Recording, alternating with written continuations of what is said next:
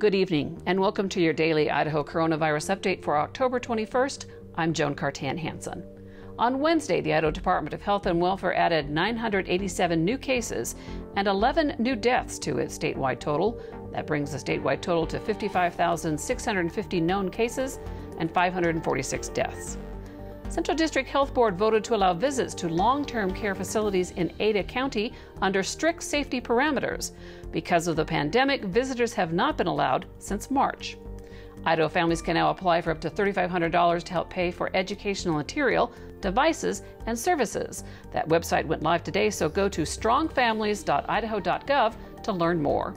And the Governor's Vaccine Advisory Committee will have its first meeting on Friday. The committee will develop a plan for distribution of the yet to be released vaccine. The first doses will probably go to healthcare workers. We'll see you back here tomorrow, and until then, stay safe, Idaho.